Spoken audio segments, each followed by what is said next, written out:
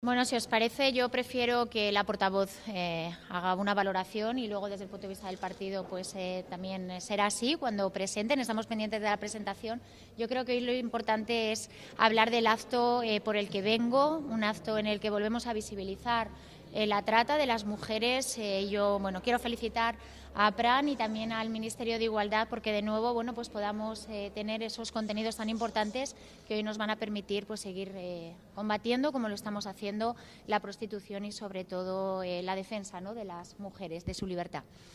Pues no tengo conocimiento de esa reunión, así que lamento no poderos contestar porque desconozco, desconocía que había una reunión esta tarde. ¿Alguna novedad con la reforma del solo sí, sí, de cara a una semana para que se cumpla ese día 7, que es el, último día? ¿Hay algún tipo de ante igualdad?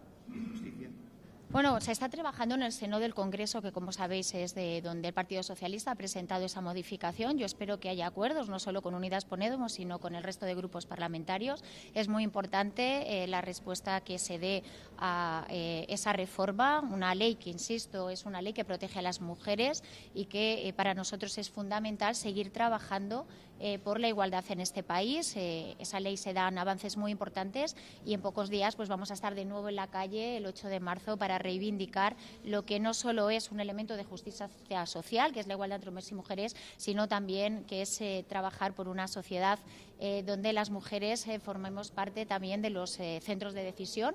Lo estamos haciendo ya en la política, pero queremos sin duda que las mujeres puedan tener esa capacidad de también decidir en la economía, en la sociedad, en el conjunto de nuestra sociedad, porque es muy importante, como digo, el darle voz a las mujeres en un momento en el que eh, grupos como Vox de la ultraderecha pues están sin duda eh, poniendo encima de la mesa, por ejemplo, los protocolos antiabortos en la Junta de Castilla y León. Nos parece que de nuevo hay que alzar la voz para defender los derechos y libertades que hemos conseguido y que es una lucha en la que estamos todas y todos. Y el 8 de marzo volveremos a salir a las calles a defender de nuevo esa igualdad de derechos y oportunidades que las mujeres nos merecemos.